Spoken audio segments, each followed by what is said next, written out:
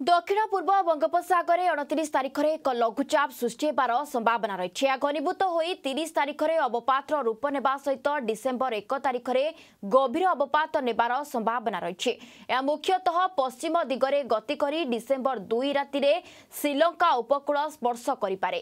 ଏହାଫଳରେ ଶ୍ରୀଲଙ୍କା ସହିତ ଦକ୍ଷିଣ ତାମିଲନାଡୁ ଓ କେରଳରେ ଡିସେମ୍ବର ଏକରୁ ତିନି ପର୍ଯ୍ୟନ୍ତ ପବନ ସହିତ ବର୍ଷା ଅନୁଭୂତ ହେବାର ସମ୍ଭାବନା ରହିଛି। ଓଡ଼ିଶା ଉପରେ ଏହାର କୌଣସି ପ୍ରଭାବ ପଡ଼ିବ ନାହିଁ। ସମସ୍ତ ଜିଲ୍ଲାରେ ପାଗ ମୁଖ୍ୟତଃ ଶୁଖିଲା ରହିବ।